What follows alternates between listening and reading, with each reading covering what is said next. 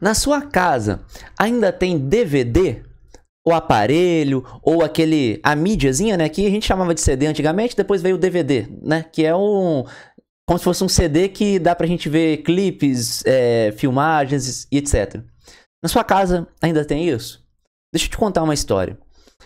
Aqui na minha casa, eu até tinha, até pouco tempo atrás, é, alguns DVDs.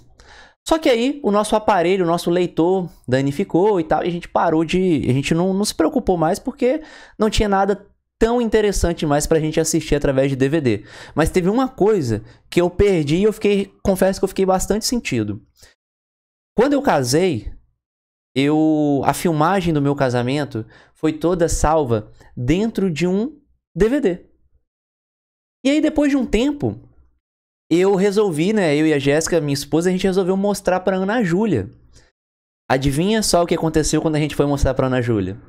Quando eu abri a caixinha do DVD, que estava muito bem guardadinha dentro da caixinha bonitinha, o DVD estava todo danificado na parte de trás. É como se ele tivesse descascado a parte de trás, a parte, né, não exatamente a de trás, a parte onde realmente o aparelhinho ia ler o vídeo que estava ali dentro, né? Ia conseguir reproduzir aquela filmagem.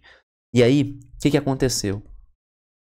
Eu perdi toda a filmagem do meu casamento. Foi o meu único, e será, né? O único casamento que eu já fiz e que eu já participei como noivo, né? como marido. E infelizmente eu não tenho essa filmagem. Eu quis mostrar para minha filha e eu não consegui mostrar para ela. E hoje em dia, né, na época isso não era comum, mas hoje em dia já tem tantas possibilidades quando a gente fala de salvar vídeos como esse. Na época que eu casei, talvez até tinha a tal da nuvem mas ela não deveria ser barata. Ela não era popular, conhecida igual é hoje, que é basicamente um tipo de armazenamento mais seguro, onde não tem uma mídia que se danificar, se perder, você vai perder a sua filmagem. E infelizmente, muitas pessoas ainda não têm conhecimento sobre as maneiras de guardar coisas importantes que a gente tem hoje em dia. A gente pode colocar dentro do próprio celular mesmo, a gente pode vincular é, até coisas importantes a uma conta de e-mail, por exemplo, para você ter uma ideia de como que hoje em dia está avançado. Então imagina só, eu tenho meu celular, eu salvei um vídeo ali dentro, esse vídeo está vinculado a um, uma conta de e-mail. Perdi meu celular, roubaram meu celular.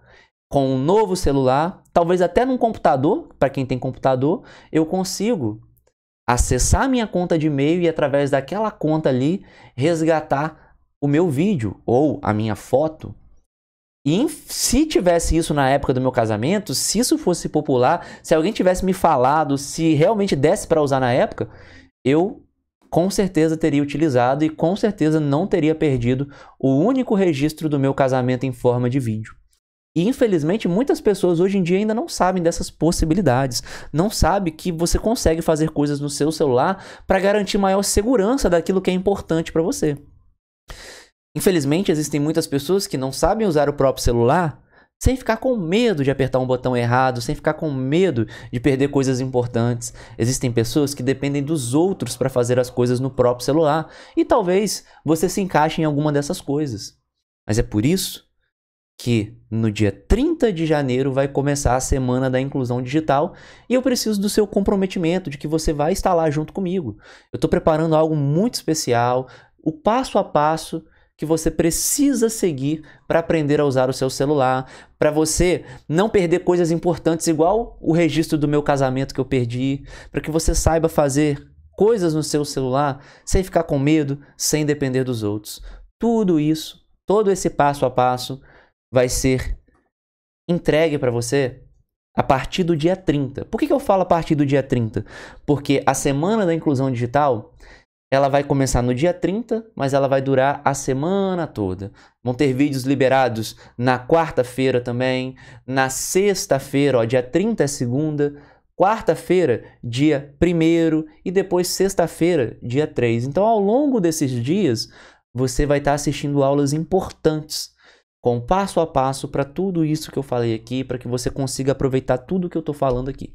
Então, você provavelmente já está registrado ok? Se você não tiver registrado, se você não tiver no grupo do WhatsApp para receber as aulas, em algum lugar desse vídeo aqui vai ter um link. Ou se você estiver vendo pelo meu Instagram, vá no meu perfil, que lá no meu perfil você vai ver um link para você entrar no grupo do WhatsApp. Então assim, é importante que você esteja dentro do grupo, é importante que você participe para você não passar por coisas como essa que eu passei. Beleza? Conto com o seu comprometimento no dia 30 de janeiro.